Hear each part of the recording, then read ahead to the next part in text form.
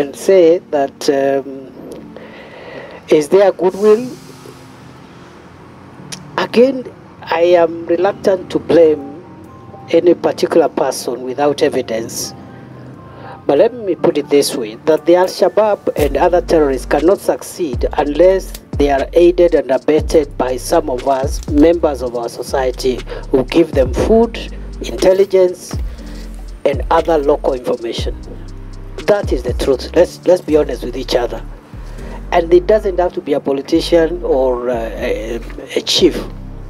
Even local communities, our own brothers and sisters, our intelligence is showing that in some of the attacks, when we do investigations, we find that the attackers could have accessed the village or the target two, three days before, and there were people, citizens of Kenya, who are supplying them with food, for example.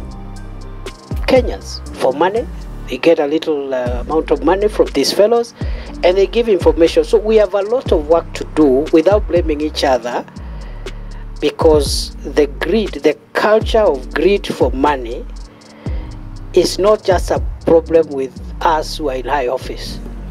Even our brothers and sisters in the villages suffer the same culture.